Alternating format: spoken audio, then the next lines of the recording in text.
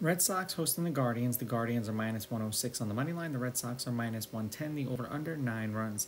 The Guardians laying a run and a half on the run line are plus 142, meaning if you bet them that way, they have to win by two or more.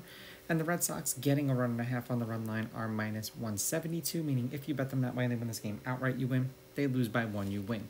Bibee pitched once against the Red Sox last year, five innings, two runs, one earned. They won that game five to two when he struck out two.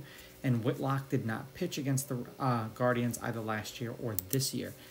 The weather in Boston is supposed to be 60 degrees, five mile an hour winds blowing uh, left to right. So nothing super crazy as far as the weather is concerned.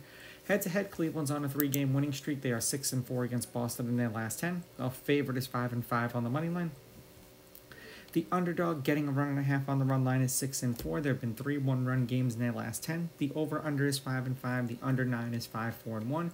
The home team is on a three game winning streak, and the home team is one, two, three, four, five, six, six and four in their last ten games against each other. They played today, and the Red Sox won six nothing.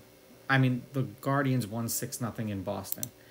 Cleveland is 7 and 3 in their last 10. The over under is 5 and 5 in their last 10. 5 runs, 10 runs, 15 runs, and 6 runs. 2 runs and a loss, 2 runs and a loss, 8 runs and a win, 6 runs in a win.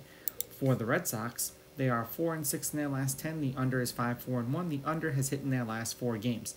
7 runs, 9 runs, 9 runs, and then 6 runs. They've been shut out twice. Shut out in a loss, 7 runs and a win, 5 runs and a win, and then shut out in a loss. Cleveland with the money line, Cleveland laying the runs and the under. These are just my picks. If you disagree, please go with your gut and please bet responsibly.